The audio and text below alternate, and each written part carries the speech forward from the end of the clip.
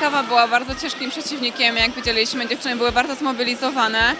My nie zagrałyśmy swojej gry, nie, za, no nie, zagra, nie pokazałyśmy z dobrej strony, niestety. eliteski podeszły do tego meczu jak do meczu derbowego. Myśmy przeszli w, zupełnie obok meczu.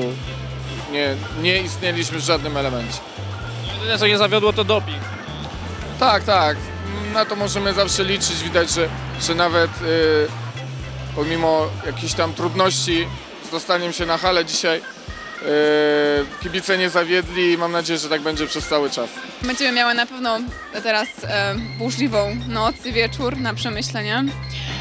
No cóż, myślę, że w każdym elemencie musimy się polepszyć, zarówno w przyjęciu w ataku, no w, w każdym elemencie, więc myślę, że po prostu jutro należy zapomnieć o tym meczu i wyjść na świeżo zagrać po prostu swoje, bo dzisiaj nie zagrałyśmy tego, co potrafimy.